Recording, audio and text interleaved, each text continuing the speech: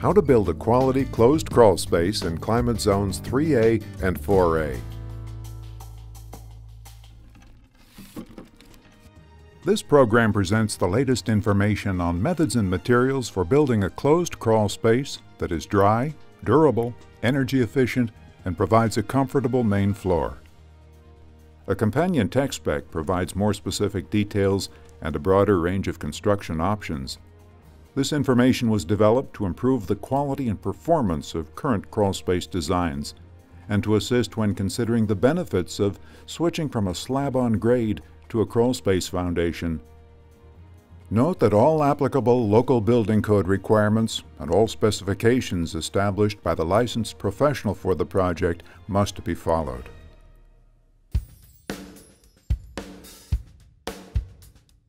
Unlike a conventional vented crawl space, a closed crawl space does not have wall vents and is air sealed to improve energy and moisture performance. A closed crawl space includes insulation on foundation walls, a ground vapor retarder, and mechanical ventilation. Some local jurisdictions allow floor insulation instead of wall insulation. A closed crawl space may also be referred to as unvented, conditioned, semi-conditioned, or sealed. Wall vented and open crawl spaces are not covered in this program.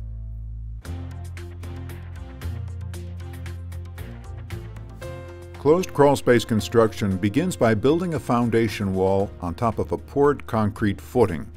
Common wall materials are poured concrete, masonry block, or wood framing. Selection is based on cost, local market preference, and skill of available trades.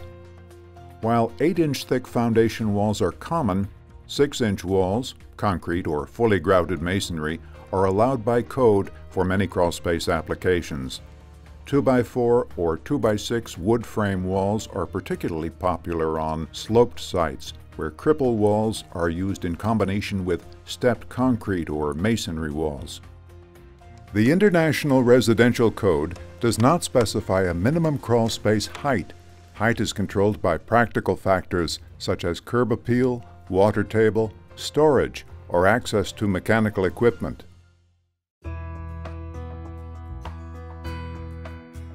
Like other foundation systems, measures for keeping exterior moisture from getting inside the crawl space include proper site grading, an exterior drainage system, and damp proofing the exterior surface of the foundation wall.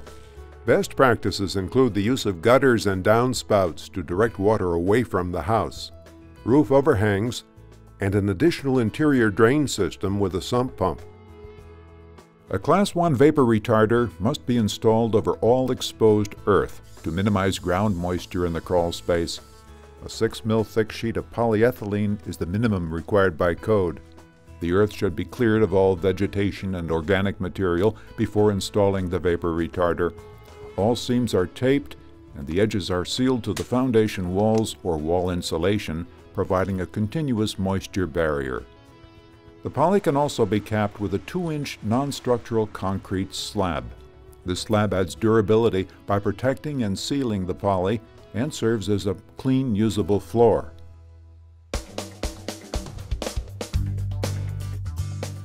The two primary factors that impact the energy efficiency of a building enclosure are air sealing and insulation. In a crawl space, air sealing is applied at the sill plate, rim joist, and at all penetrations through the exterior walls and framing. With stepped foundations, joints between the edge stud and the vertical concrete surface should also be air sealed. A closed crawl space is typically insulated by installing insulation on the interior of the wall. Where continuous wall insulation is used, the 2012 IRC requires a minimum R5 in Climate Zone 3 and a minimum R10 in Climate Zone 4. Wood-framed cripple walls and the rim are generally insulated to the same level as the above-grade framed walls. A range of insulation products are available, including fiberglass, rigid foam sheathing products, and closed-cell spray foam. Spray foam insulation has the added benefit of providing a good air seal. Rigid foam sheathing and spray foam must comply with specific fire safety criteria, including ignition barrier and thermal barrier requirements. Foam manufacturers offer specific products rated for exposed applications in both rigid and sprayed types that can be used without additional fire protection. Factors that impact fire rating include insulation type, insulation thickness, and whether or not the crawl space is used for storage. The IRC exempts spray foam up to 3.5 inches installed at the sill plate and the rim joist from the thermal barrier requirement. In climate zones 3 and 4, an interior vapor retarder is not required by code on either framed or solid crawlspace walls. If fiberglass insulation is installed against the foundation wall, the facing material on the interior surface should be perforated or vapor permeable to avoid trapping moisture. To limit moisture from the foundation wall entering the conditioned crawl space, rigid or spray foam insulation, a sheet of poly, or both foam insulation and poly can be installed directly against the wall. As an added benefit, foam insulation helps keep the interior surface warmer, reducing condensation potential.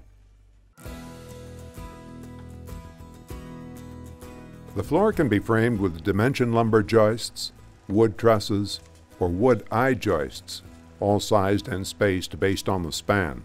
Where additional sturdiness in the floor is desired, shorter spans, deeper members, and closer spacing can be considered.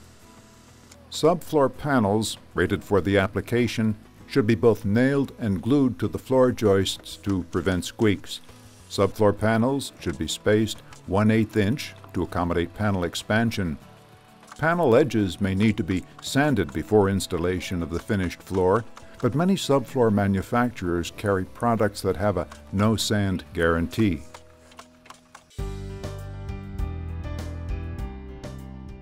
A closed crawl space provides a more suitable environment for ducts and mechanical equipment than a conventional vented attic or vented crawl space. Temperatures in a closed crawl space are more stable, resulting in reduced energy loss and reduced condensation potential. Also, locating ducts and mechanical equipment in dry and enclosed space helps maintain good indoor air quality in the house. Also, crawl spaces provide easy access for the trades to install ductwork. Similarly, the water heater and plumbing piping may be installed in the closed crawl space.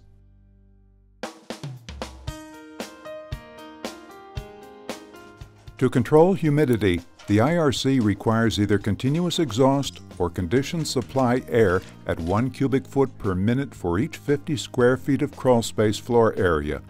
A transfer grill or duct connecting the house to the crawlspace is also required to balance airflow. As a best practice, exhaust ventilation can be used to minimize air exchange between the crawlspace and the main floor. Following practices presented in this program and in the companion tech spec will result in a crawl space that is dry, durable, energy efficient, and provides added value to both the builder and the homeowner. The closed crawl space videos and the companion tech spec are available on the Home Innovation Research Lab's website at www.homeinnovation.com.